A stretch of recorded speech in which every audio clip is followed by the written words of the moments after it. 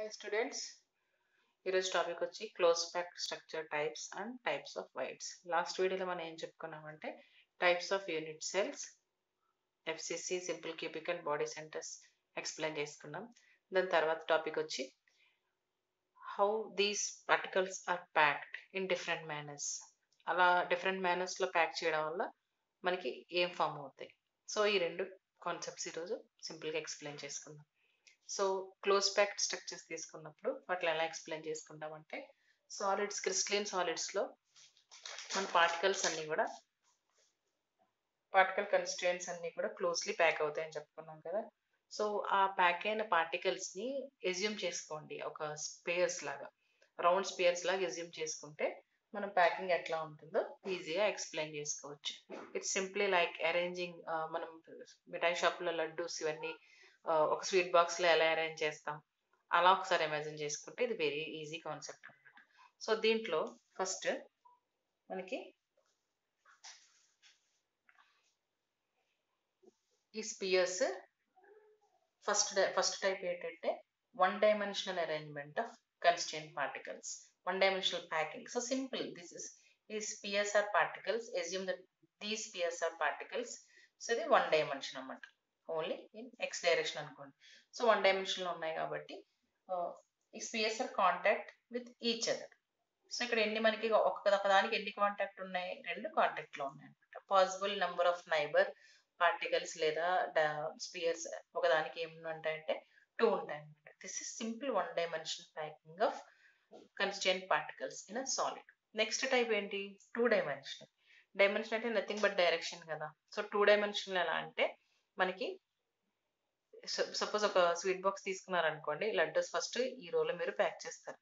తర్వాత ఈ రో ఓకే ఈ బాక్స్ అంతా ఇప్పుడు ఫస్ట్ లేయర్ నిడుతుంది అనమాట అంటే ఈ డైరెక్షన్లో ప్యాక్ చేస్తాం.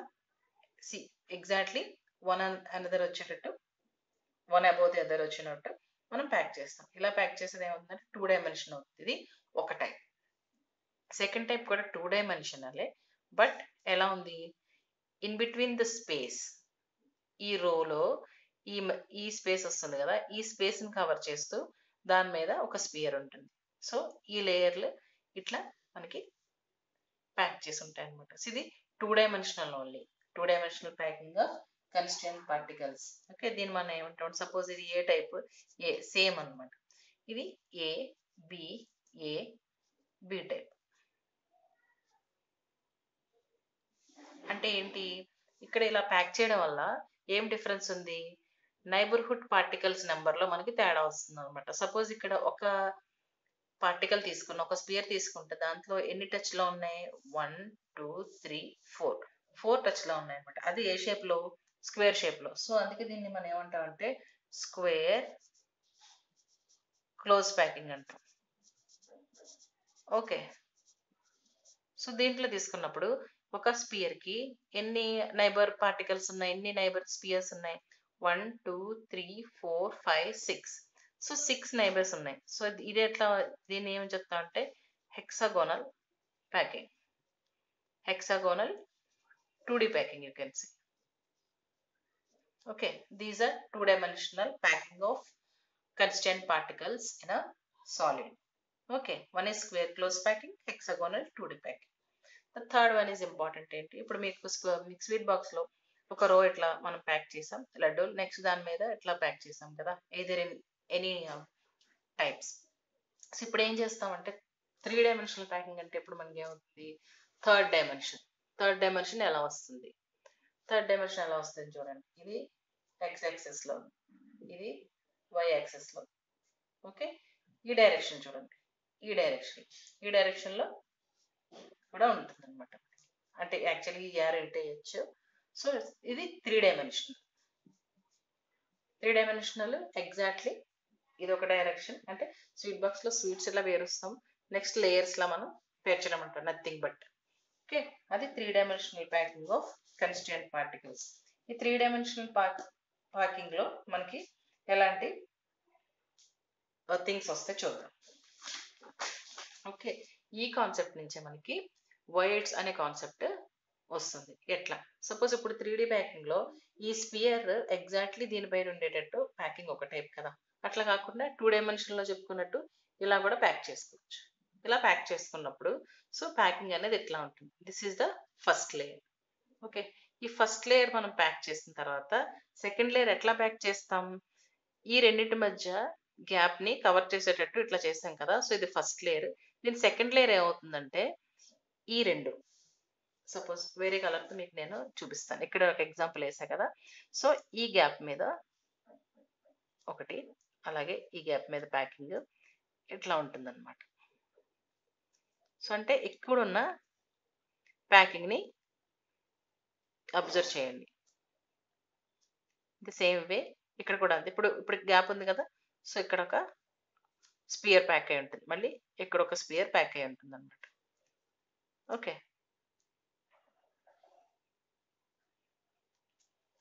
సో ఇట్లా ఫస్ట్ లేయర్ మీద ఉన్న ఈ గ్యాప్ ఉంది కదా దీని మీద మనం ఒక స్పియర్ ఉంచుతాం first ప్యాకింగ్లో this is all part of packing కదా? సో ఇట్లా ఒక స్పియర్ మనం ప్యాక్ చేసినప్పుడు సో ఎన్ని మనకి కంబైన్ అవుతాయి? One two three. ఇది ఫస్ట్ లేయర్.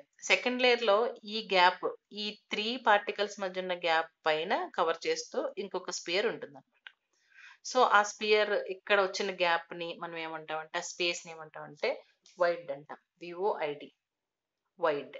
సో దీన్ని ఏమంటాం? ఈ టైప్ ఆఫ్ వైడ్ని ఏమంటాం అంటే మనం టెట్రాహైడ్రల్ వైడ్. Tetrahedral wide. ఇక్కడ ఉంది చూడండి. ఇక్కడ ఇంకొక పైన ఇంకొక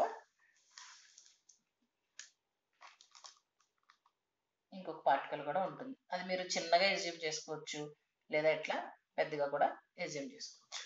ఓకే సో ఇప్పుడు దీని షేప్ ఎట్లా వస్తుందంటే వైడ్ షేప్ మనకి టెట్రాహైడ్రల్ షేప్లో వస్తుంది. సో ఈ టెట్రాహైడ్రల్ షేప్లో వస్తుంది కాబట్టి దీన్ని మనం ఏమంటామంటే టెట్రాహైడ్రల్ వైడ్ ఇది టూ టైప్స్ ఉంటుంది అనమాట లైక్ ఇలా ఫామ్ అవ్వచ్చు మీకు. గ్యాప్ ఇట్లా ఫామ్ అవ్వచ్చు. లేదా లేయర్ని బట్టి గ్యాప్ ఇట్లా ఫామ్ అవ్వచ్చు. సో దీంట్లో ఎన్ని పార్టికల్స్ మీకు కంబైన్ అవడం వల్ల స్పేస్ క్రియేట్ అవుతుందంటే త్రీ త్రీ స్పియర్స్ ఈ త్రీ స్పియర్స్ ఇట్లా మనం కంబైన్ చేసినప్పుడు వచ్చే గ్యాప్నే మనం ఏమంటామంటే టెట్రాహైడ్రల్ వైడ్ అంటాం. ఆ గ్యాప్ మీద కూడా ఒక పార్టికల్ ఉంటుంది. సో ఇది టెట్రాహైడ్రల్ షేప్ ఉంటుంది కాబట్టి దీన్ని మనం టెట్రాహైడ్రల్ వైడ్ అంటాం. నెక్స్ట్ ఆక్టాహైడ్రల్ వైడ్ అంటే ఏంటి? సో ఇక్కడ first layer.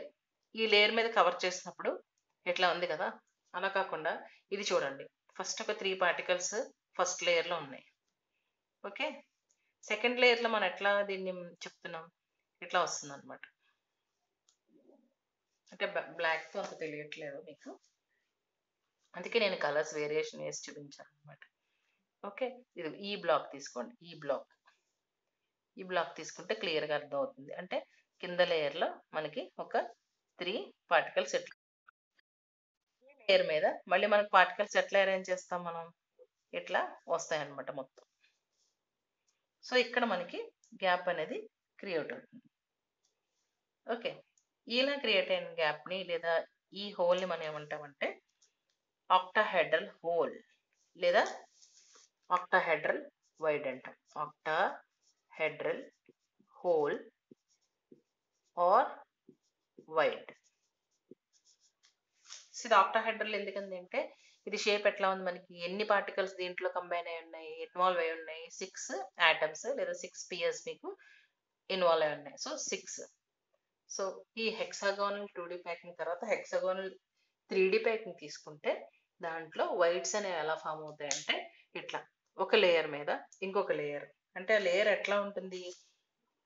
The spheres are packed in way to fill fill the gap ఇక్కడ గ్యాప్ ఉంది కదా ఈ గ్యాప్ని మనం చేస్తా uh, ఫిల్ చేస్తాం అనమాట దాన్ని మనం ఏమంటాం second row is placed above the first row in staggered manner such that it spheres fit in the depression of first row అంటే ఈ ఫస్ట్ రోలో ఉన్న డిప్రెషన్ అంటే ఈ గ్యాప్ కదా ఈ గ్యాప్ని కవర్ చేస్తూ మనం ఇప్పుడు సపోజ్ ఈ గ్యాప్ ఉంది ఈ గ్యాప్ ఉంది ఈ గ్యాప్ని కవర్ చేస్తూ సెకండ్ లేయర్ ఫామ్ అవుతుంది. సో అలాగే థర్డ్ లేయర్ అట్లా మనకి లేయర్స్ లేయర్స్ అంటే first direction second direction and third direction so three dimensional three డైమెన్షన్లో మనకి హెక్సాగోనల్ త్రీ డి ప్యాకింగ్ తీసుకుంటే ఫస్ట్ లేయర్లో ఉన్న గ్యాప్ని కవర్ చేస్తూ సెకండ్ లేయర్లో యాటమ్స్ అనేవి అరేంజ్ అయి ఉంటాయి లేదా ప్యాక్ అయి ఉంటాయి అనమాట సో అలా ప్యాక్ చేసినప్పుడు త్రీ స్పియర్స్ మధ్య మనకి గ్యాప్ ఫామ్ అయితే అది మనం టెట్రాహెడ్రల్ వైడ్ అని అంటాం. ఎందుకంటే దాని షేప్ ఎలా ఉంటుందంటే పైన కూడా ఒక ఆటమ్ ఉంటుంది కాబట్టి ఆ టెట్రాహెడ్రల్ షేప్ వైడ్ షేప్ అనేది టెట్రాహెడ్రల్గా ఉంటుంది అనమాట సో అందుకని టెట్రాహెడ్రల్ వైడ్ అంటాం. అదే ఆక్టాహెడ్రల్ వైడ్ తీసుకున్నప్పుడు మనకి ఎట్లా ఉంటుంది? ఇలా సెకండ్ లేయర్లోనే ఈ సిక్స్ ఆటమ్స్ లేదా సిక్స్ పార్టికల్స్ ఇన్వాల్వ్ అయినప్పుడు ఆ మధ్యలో క్రియేట్ అయ్యే గ్యాప్ని మనం ఆక్టాహెడ్రల్ హోల్ లేదా వైడ్ అంటాం అనమాట అంటే suppose if possible octahedral voids are N then tetrahedral voids to be two N అంటే ఒక ఆక్టాహెడ్రల్ వైడ్ ఉంటే దాంట్లో రెండు టెట్రాహైడ్రల్ వైడ్స్ ఉంటాయి అనమాట ఎందుకంటే ఈ మూడింటి మధ్య గ్యాప్ ఒకటి కింద మూడింటి మధ్య గ్యాప్ ఒకటి అన్నది టెట్రాహైడ్రల్ కాబట్టి టూ ఎన్ అవుతుంది అనమాట okay?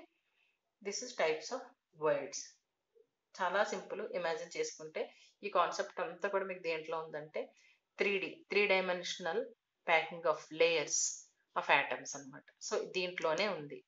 ఓకే? మీకు అర్థమైందని అనుకుంటున్నాను. గైస్ మీకు నెక్స్ట్ ఏ చాప్టర్ మీకు ఎక్స్ప్లెయిన్ చేస్తే మీకు బెటర్గా ఉంటుంది? మీకు ఎందులో డౌట్స్ ఉన్నాయా? Please you can ask me. And please subscribe my channel. Thank you